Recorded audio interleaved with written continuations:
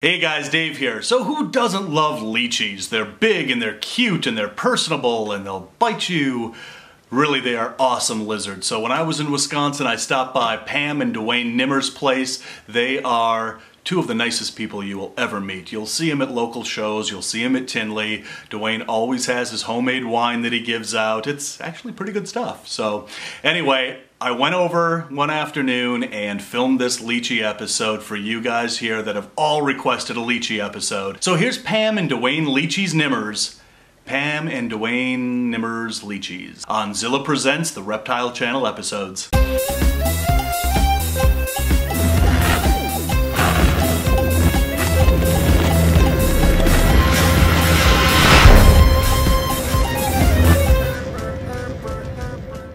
My name is Dwayne Nimmer.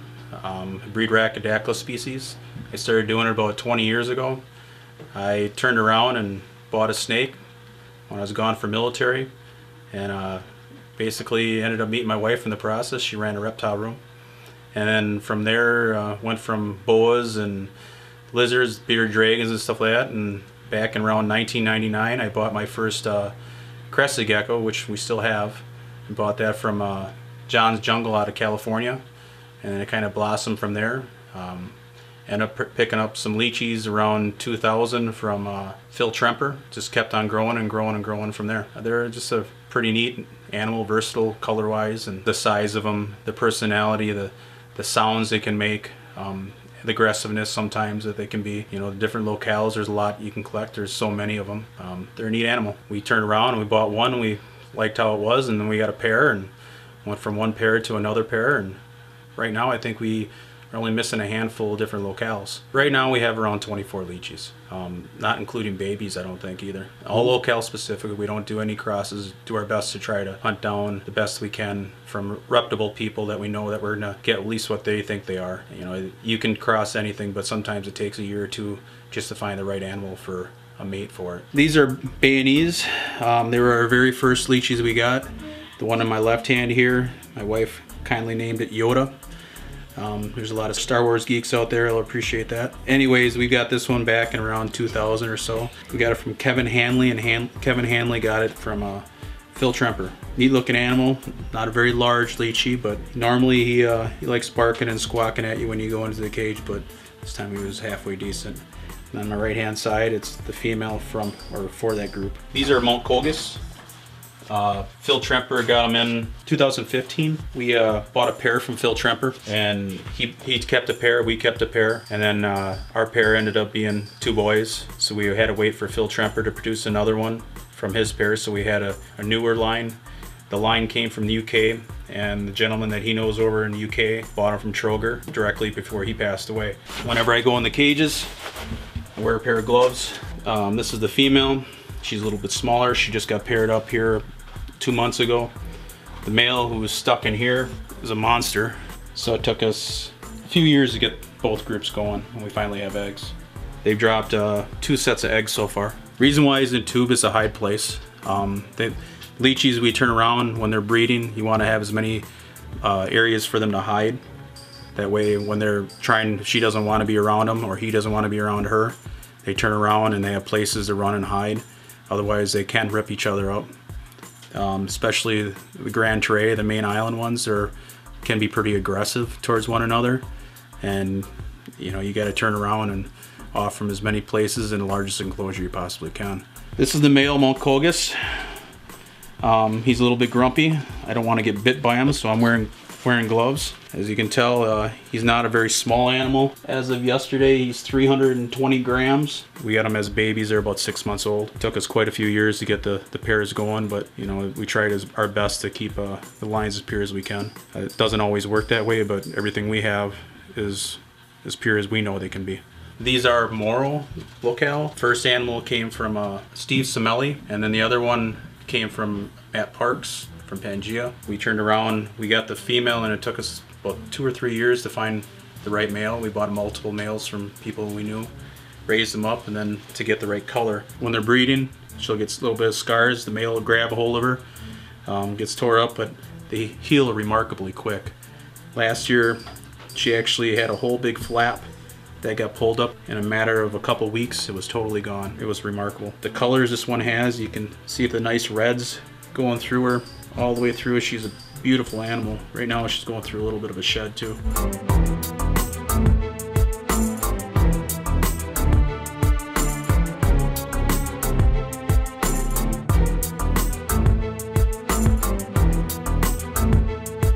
This is supposed to be Yante. Yante don't normally have bars, so it's atypical. Yante usually have spots or be solid. This pair came from Phil Tremper. Uh, he got them from overseas. He's very reputable. He's a very honest guy. Um, if they would came from somebody I didn't know, I would question it. That's one of the things with the with Leachianus, which I found is you know you it pays to go to somebody that's got a reputation that's good and uh, ask around a little bit the people that have been doing it for a lot of years, there's a reason why they've been doing it for a lot of years. They've treated people right and they've done the right thing. And try to be as honest as honest you can be. This is another Mount Koghis from the UK that Phil Tremper got in around 2010, uh, 2011. He's got a pair. I have two pairs. Pretty cool animal. This guy stays pretty dark, almost black. He has very sharp claws. He's digging into me right now. He uses those claws for climbing up trees. This is the female Mount for that last dark one. Um, she just got put in also this spring with the male. She's also dropped one set of eggs and currently they're fertile. Um, right now she's not dark, but she was darker, last time I looked. They change color under during the day. Sometimes they'll be lighter, sometimes they're darker. That male is always really dark. Um, she kind of goes back and forth. I have a Bros. This is from uh, Steve Semelli's High Pink Bros. Um, beautiful animal was born in 2014. They also went together this year. They're not as large as the GTs. Nice looking animals, lots of pink. This is a Nuami. Um, this pair came from Phil Tremper. Um, they're small, smaller uh, leachie, not as big as the GTs. Nice looking animal, lots of color. Uh, produce some nice looking animals. This is a Riviera Blue. This came from Rich Speckler, I believe his name was, out of California.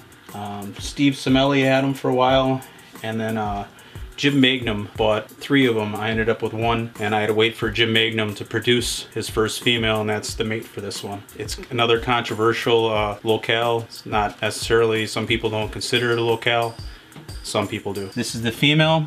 Um, she's very cage aggressive. When I go in there, she'll either lunge at me or try to bite me.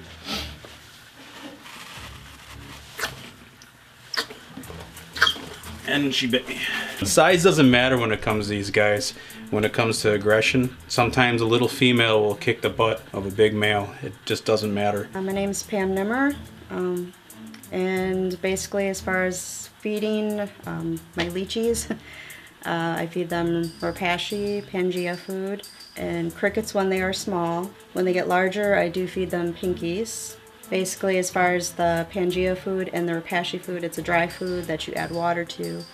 Um, you make a consistency kind of like tomato soup, sort of. I feed them every about two to three days. I will take a lot of times the Pangea food and I mix it with like a, uh, like fresh mango. Um, we do like a freeze-dried fruit and I'll mix it in with that also um, to kind of thicken it and it sort of stretches out the food a little bit more and gives them a little bit of variety.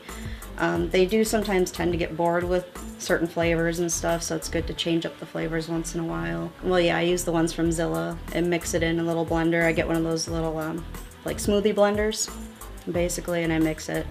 But I also have a lot of leachies to feed, so it's easier to do it in a blender. The crickets, I will give the small ones, but when they get pretty much to like a year old or close to that, they kind of stop eating the crickets and I think it's probably due to like the size because they're so big and the crickets are small and or they lose like you know the taste of it they don't want to eat them anymore. Uh, this is what we use for when we put the pairs together the leachies um, basically we put a divider in the middle and it's a screen kind of divider so that way they can basically smell and see each other and still kind of eh, be in the same cage but divided so they don't hurt each other.